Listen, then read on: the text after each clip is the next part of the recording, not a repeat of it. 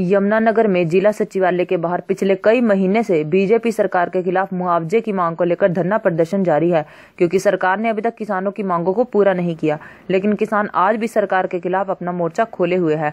किसानों के लिए कोई दिन, कोई त्योहार, कोई महत्व नहीं रखता, क्योंकि अब किसानों के पास त्योहारों को मनाने के लिए पैसा ही नहीं है। इसलिए किसानों ने नए साल का स्वागत भी काले झंडे व काली पट्टियाँ सिर पर बांधकर किया। उन्होंने कहा कि अगर सरकार ने हमारी मांगों को पूरा नहीं किया तो वो हर दिन व त्योहार को ऐसे ही काले दिवस के रूप में मनाते रहेंगे।